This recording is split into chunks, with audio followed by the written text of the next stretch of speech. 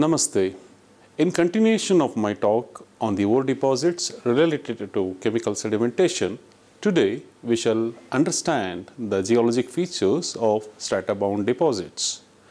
The term strata-bound is applied irrespective of their mineralogy to those deposits which are restricted to a fairly limited stratigraphical range within the strata of a particular region.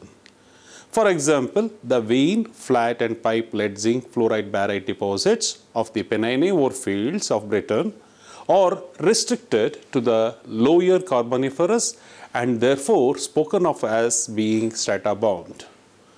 To take a very different example, the stratiform deposits of the Zambian copper belt are all developed at about the same stratigraphical horizon in the Proterozoic Roan series and these two may be described as strata-bound. Clearly, stratiform deposits can be strata-bound, but strata-bound ores are not necessarily stratiform. This lesson deals with two important associations of strata-bound deposits. Number one, carbonate-hosted base metal deposits and Number two, sandstone, uranium, vanadium base metal deposits. The first one is carbonate hosted base metal deposits. These deposits are important producers of lead and zinc and also sometimes principally of fluorite and barite. Copper is important in some fields, notably that of central Ireland. With regard to the distribution in space and time, most of the lead and zinc produced in Europe and the USA comes from this type of deposit. In Europe, there are important fields in central Ireland, the Alps, southern Poland, and the Pennines of England. In the USA, there are the Appalachian zinc belt through Tennessee and Virginia, Mississippi Valley area centered around tri-state that is southwest Missouri, northeast Oklahoma and southeast Kansas, Kansas and extending into Wisconsin, southeast Missouri and upper Mississippi districts. These are all so important fields in North Africa in places like Tunisia and Algeria as well as in Canada.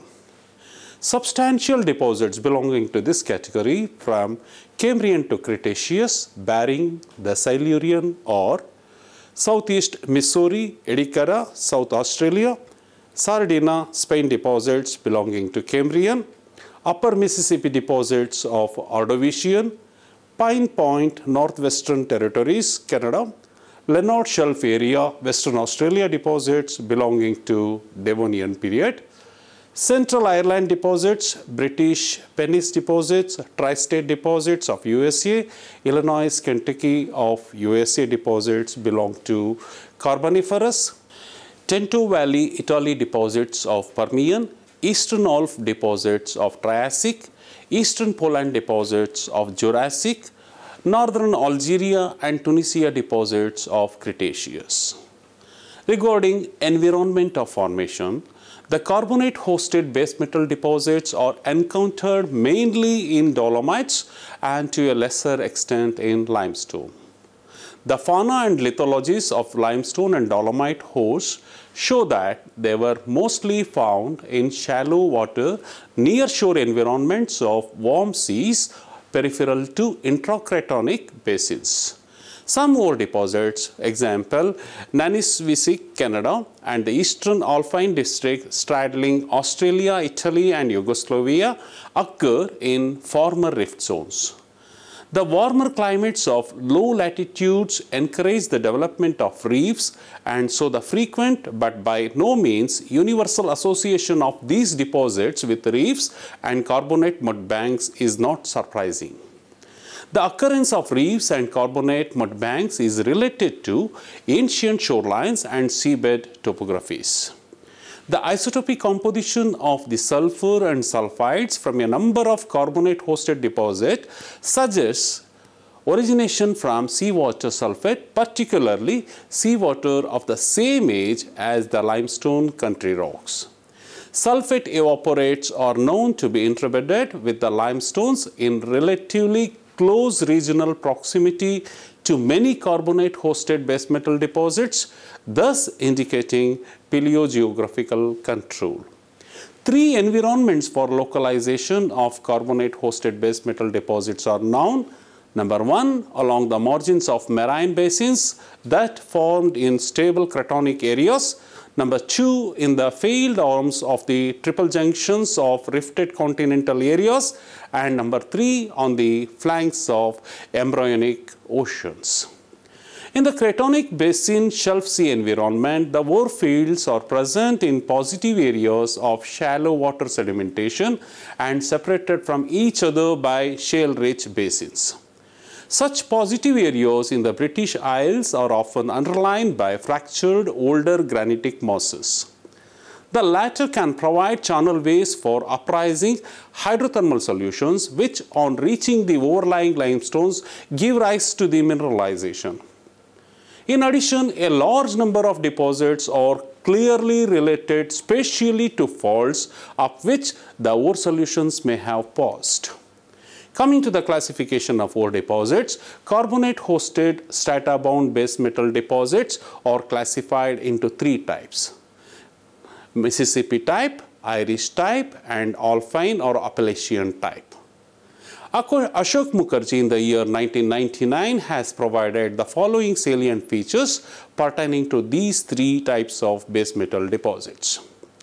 Mississippi Valley type carbonate hosted base metal deposits include all low temperature deposits containing one or more of the minerals barite, fluorite, galena, sphalerite that are epigenetic in origin. These deposits occur principally in unfolded limestone or dolostone, unconformably overlying highly deformed and metamorphosed basement. The host rocks with brittle fractures, domes and gentle wrappings register evidence of mild deformation. Ore districts are devoid of post-sedimentation igneous activity bearing in the Kentucky-Illinois district.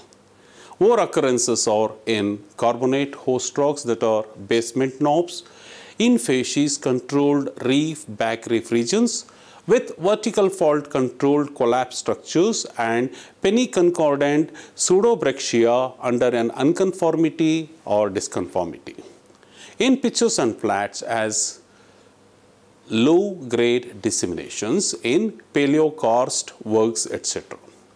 The host rocks exhibit ubiquitous brecciation, dissolution, recrystallization and dolomitization. The deposits tend to be rich in zinc and extremely poor in copper.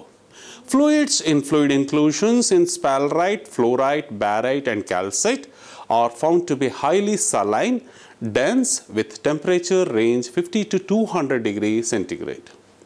In fluids of the fluid inclusions, oil and or methane is often present. These features of the fluid inclusions are strikingly similar to those of pore fluids in present-day sedimentary basins. Leads from the various fields of Mississippi Valley have been found to be notably enriched in radiogenic lead compared to ordinary lead. This fact suggests that the Mississippi Valley lead was derived from a crustal source relatively high in uranium and thorium which could have provided it with anomalous amounts of radiogenic lead. A highly probable source of this nature would be the Precambrian basement. In ores, presence of three generations of sphalerite, each with characteristic color, fluid homogenization, temperature and fluid composition are reported during overall deposition of ores. Sphalerite is found to be involved in repeated dissolution and precipitation. Delta S34 values of sulfides are distinctive in each ore district and these data include a non-magmatic source for the ores. Irish type carbonate hosted base metal deposits occur in thick sequence of banded limestone with interfingering reef facies and overlain by and laterally grading into dark massive limestone and underlined by red beds. Almost all major deposits are located in immediate vicinity of faults from which ore bodies extend concordantly into bedded carbonates. This indicates a first order structural control and subsidiary stratigraphic or lithologic control. The ores do not exhibit evidences of post-lithification emplacement and permeability control and these features indicate sedimentary timing of mineralization. Ores are essentially made up of uh, pyrite, sphalerite, galena and minor chalcopyrite and tennantite. Barite is often found. Fluid inclusions from quartz and sphalerite indicate temperature up to 240 degrees centigrade. Alpine type carbonate hosted base metal deposits occur principally in folded limestone dolomite with interbedded shales and sandstone and lateral facies variation into black shales and cherts characteristic of orogenic belt tectonic setting. Ores occur as pene-concordant lances and sheets. Ores exhibit fine banding and soft sedimentation deformation structures and textures. They occur along coast beneath unconformity as disseminations, work fillings, discordant bodies along faults, short unconformable veins. They also occur as uh, large replacement bodies which are considered as of diagenetic origin. Ores exhibit wide variation in lead to zinc ratio. Some ores are silver rich with abundant pyrite plus or minus bitumen. Ores contain dominantly ordinary lead which indicates either a uniform deep-seated source or the normal lead carried by a basinal brine. Russell and Shawko in the year 1991, based on the enthalpy involved in the mineralizing systems, have provided the following genetic aspects of the three types of carbonate-hosted base metal deposits. Number one, a low enthalpy or Mississippi type deposits were formed from an evolved basinal brine which has been forced towards a basin margin by compaction and a hydraulically controlled head of water. Number two, a medium enthalpy or Irish type deposits were generated by modified saline seawater convected within the upper crust and number three, a high enthalpy or alpine dip deposits in which the mineralizing fluids were derived from basinal brine which was augmented by meteoric water that was circulating in convection cells driven by a nearly magmatic intrusion. In this type of deposits, development of fluorite is attributed to magmatic fluorine source. Now let us understand the ore body types and their situations. The ore bodies of carbonate hosted base metal deposits are very variable in type. In the British Pennines, vein ore bodies with ribbon ore shoots occupying normal folds are the main deposit type in the northern field. In the southern Pennines, veins are again the most important ore bodies, but they occupy wrench faults. The ore bodies in the tri-state area in USA are in solution and collapse structures, caves and underground channel ways connected with karst topography and these are common features in many ore districts. Solution collapse breccias host many ore bodies. At Pine Point, the ores are in interconnected small-scale solution cavities. They may be listed as follows. Number one, above unconformities in environment such as permeable reefs and facies changes, supratenuous folds, above the pinch outs of permeable channel way horizons, above or in mud bank complexes, Number two, below unconformities in solution formed open spaces related to a karst topography predating the unconformity or in collapse structures formed by the dissolution of underlying beds by subsurface drainage. Number three, at a facies change in a formation or between basins of deposition. Number four, in regional fracture systems. Coming to grade, tonnage and mineralogy of carbonate-hosted base metal deposits, average ore grades range mainly from 3 to 15 percent combined lead and zinc with individual ore bodies running up to 50 percent. Tonnage generally range from a few tens of thousands up to million tons. Lead and or zinc are the elements that commonly determine economic viability. In a few mines, silver and copper are important byproducts as are cadmium and germanium. Fluorite and or barite may be important byproducts or the prime products that are mined. Majority of Mississippi Valley type deposits are less than 10 million tons in size, but ore fields totals made up of a number of deposits often lie in the range of 50 to 500 million tons. Example, Pine Point with over 8 separate bodies and the Upper Mississippi Valley with nearly 300 deposits. Most Mississippi Valley type ore fields have a high zinc to lead ratio and a few produce very little or no lead. Lead dominated fields are rare and limited largely to the very productive old new lead belts of southeast Missouri district. The characteristic minerals of this ore association are galena, sphalerite, fluorite and barite in different ratios to one another varying from field to field. Pyrite and especially marcasite may be common and chalcopyrite is important in a few deposits. Calcite, dolomite and other carbonates and various forms of silica usually constitute the main gangue material. Colloform textures are common in some ores, otherwise these are commonly but not invariably coarse grained. Lastly, the origin of carbonate hosted base metal deposits.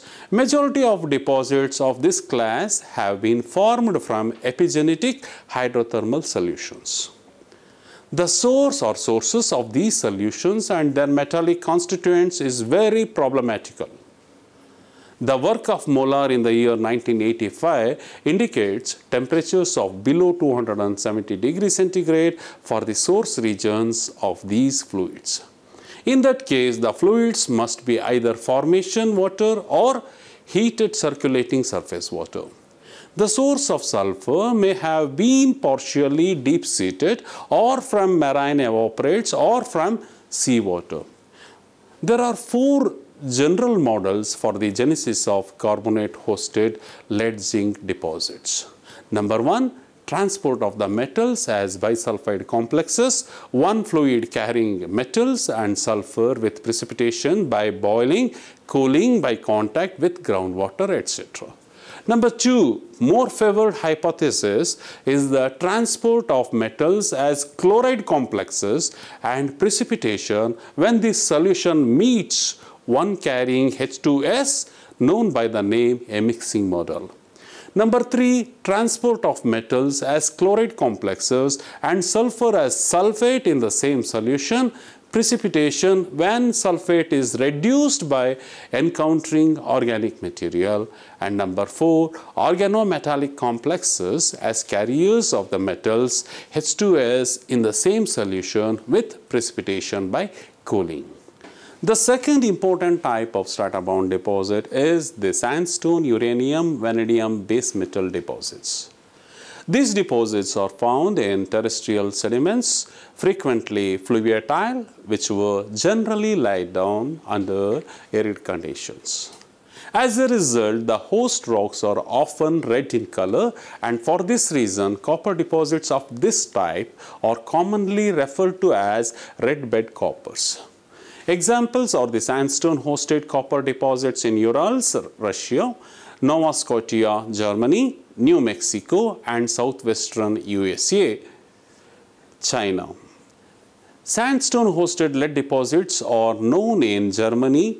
Sandstone hosted silver deposits are encountered in Utah, USA. Sandstone hosted uranium deposits are called by many names such as Colorado Plateau type, Carnotite type, Wyoming roll front type, Wyoming geochemical cell uranium type, Western States type or sandstone uranium type.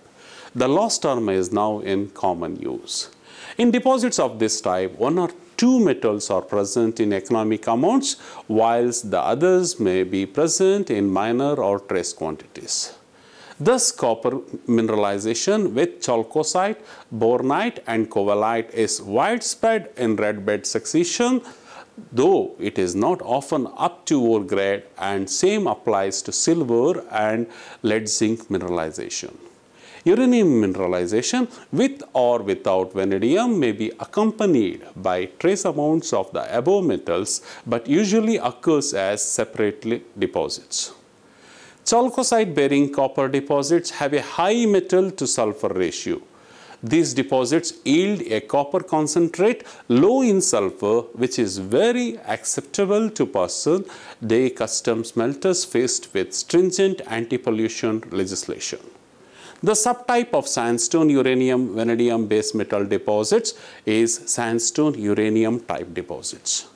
Uranium deposits of this general type are widespread in the Colorado Plateau region and in Wyoming and they have provided over 95% of USA domestic production of uranium and vanadium. Metals occurring in these deposits is in significant quantities are uranium, vanadium, copper, silver, selenium and molybdenum. Generally, grades vary from 0.1 to 1% U3O8, but locally can be much higher with such phenomena as whole tree trunks entirely replaced by uranium minerals. Some American deposits carry up to 1.5% V2O5 and some up to 0.2% molybdenum. Most of the ore bodies of the sandstone hosted uranium deposits are similar. The larger deposits form uh, mantules hundreds of meters long, about 100 meter wide and a few meters thick. In several deposits, ore bodies are elongated and follow buried stream courses or lenses of conglomeratic material. The most common forms of deposits are termed number one, roll front, number two, blanket or peneconcordant, and number three, stack or tectolithological, which are often related to permeable fault zones. These different morphologies can be related to the flow of mineralizing fluids through the host rocks. The deposits are epigenetic in the sense that they were formed in their present position, often host sediment was deposited. Ore minerals are accommodated in pore spaces where they form thin coatings on the detrital grinds, whilst in the case of high-grade deposits, they may entirely fill the pore spaces. The disseminated form and microscopic size of the ore minerals increase the susceptibility to subsequent oxidation and remobilization by both alteration and weathering. The principal primary uranium minerals are pitchblende and coffinite. Vanadium, if present, is generally in the form of roscoelite, that is vanadium, mica and montroseite.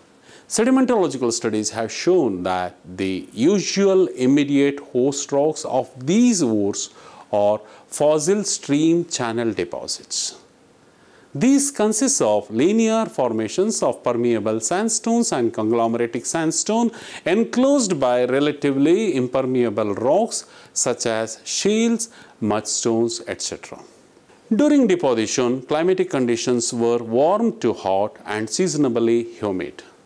Abundant vegetation grew in the depositional area and animals burrowed and mixed dead vegetation with the sediment. Frequent reworking by the streams incorporated sufficient organic material into the sediment to produce reducing conditions when it decayed. The sands deposited under these conditions were organic rich, pyritic and the associated clays were pyritic and commonly carbonaceous. Sediments were often derived from a granitic source area and during weathering of the granite, its trace content of uranium would be oxidized to the hexavalent state and taken into solution. Thus, uranium would migrate through the basin of deposition to be lost to the sea unless it came into contact with reducing conditions in the organic rich sediment a short distance beneath the sediment water interface, in which case it would enrich the sediment. In some areas, acid tuffs rather than granites appear to have been the source rock for the uranium and the devitrification of tuffaceous sediments may well be the major source of the uranium in the US deposits.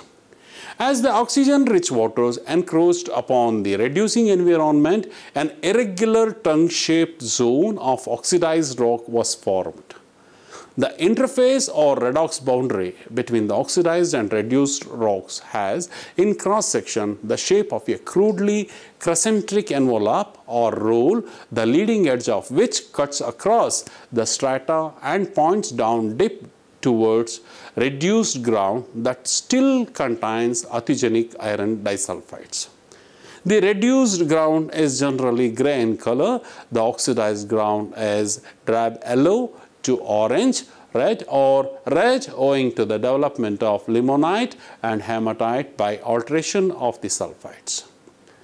Upon encountering reduced conditions, the uranium became reduced to the insoluble tetravalent state and was precipitated continuous or episodic introduction of oxygenated groundwater resulted in continuous or episodic solution and redeposition of uranium and migration of the redox interface down the paleoslope. This process can lead to ore grade accumulation at or near the concave edge of the roll and to a lesser extent in reduced rock near the upper and lower limits of the roll. Later reduction or oxidation of the ore beds may materially alter the form and mineralogy of the ore bodies and obscure the primary redox conditions. Fluid inclusion studies carried out on calcite and barite associated with uranium ores of roll front indicate low temperature of their formation. To recapitulate what we learned today, carbonate hosted strata-bound base metal deposits are important producers of lead and zinc and are formed essentially from epigenetic hydrothermal solutions. Number two, carbonate hosted base metal deposits are classified into three types based on their genetic signatures. Number one, Mississippi Valley type formed from an evolved basinal brine which has been forced towards a basin margin by compaction and a hydraulically controlled head of water. B. Irish type generated by modified saline seawater convected within the upper crust. C. Alpine type in which the mineralizing fluid is basinal brine augmented by meteoric water that was circulating in convection cells driven by a nearby magmatic intrusion. Number three, sandstone uranium type deposits provide any one or more of the following metals. Uranium, vanadium, copper, silver, selenium and molybdenum. Number four, the deposits uranium, vanadium, copper, silver, selenium and molybdenum are epigenetic in the sense that they were formed in their, in their present position after host sediment was deposited. Number four, the most common forms of sandstone uranium type deposits are termed roll front, blanket or peneconcordant and stack or tectolithological. The latter is often related to permeable fault zones. Number five, weathered uranium bearing granites and devitrified acidic tuffs or the source material for the sandstone hosted uranium and vanadium mineralization. Immediate host rocks of these ores are organic rich fossil stream channel deposits. The organic rich stream channel sediments under reduced conditions were responsible for precipitation of uranium derived from source area of weathered granites containing trace amounts of uranium.